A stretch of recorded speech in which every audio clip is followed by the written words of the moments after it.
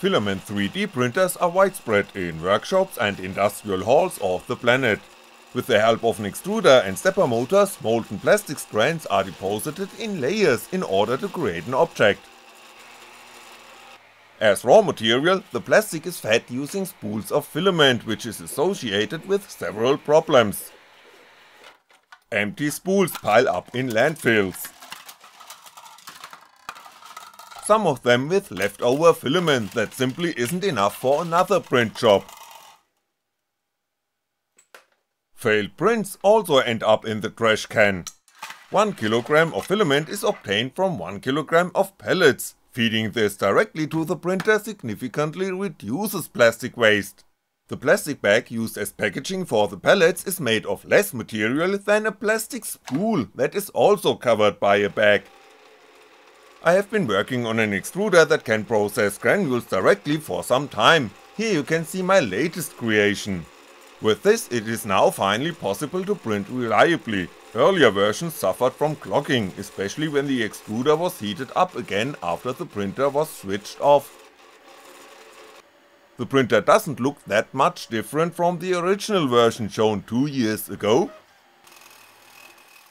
for version number 2 which I presented last year.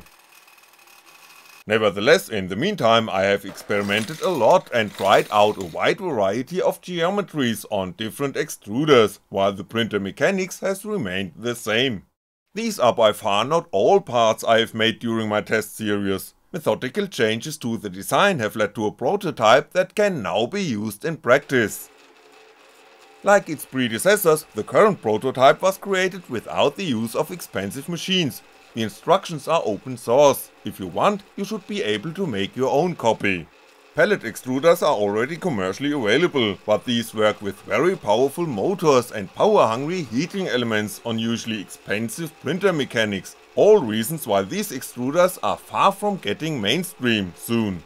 From the very beginning the aim of my design was to use the rather weak stepper motor and the heating element from the old printer with which I carried out my experiments.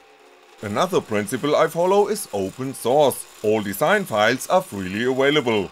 I have received inquiries about the extruder, but it seems that I am doomed to continue the development by my own, at least I have not received any reports that other tinkerers have taken up my ideas and driven the evolution of the design.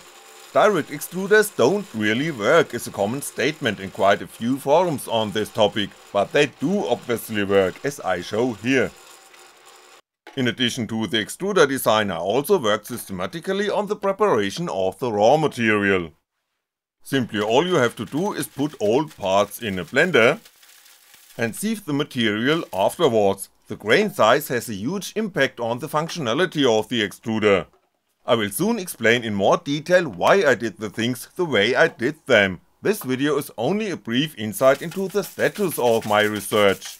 Besides common materials like PLA as I'm demonstrating in this video, the direct extruder is also capable of processing materials that are too soft or too brittle to be fed as filament.